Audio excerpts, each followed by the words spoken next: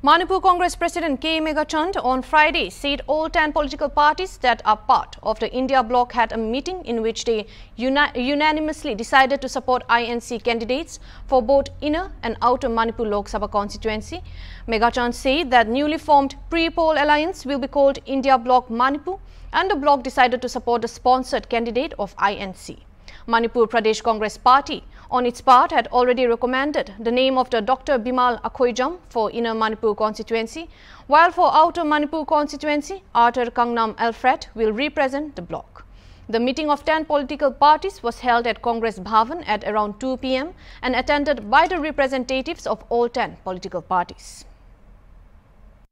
Today we had the meeting of the uh, 10th political party, but in that meeting, by a, uh, unanimous uh, decisions, we have converted India Bloc. The name is the title of the uh, alliance, India Bloc Manipur. So this India Bloc Manipur is supported to the sponsor candidate of INC. So uh, in connection with this, uh, we have already uh, uh, this recommended uh, for the candidates for both the inner and outer.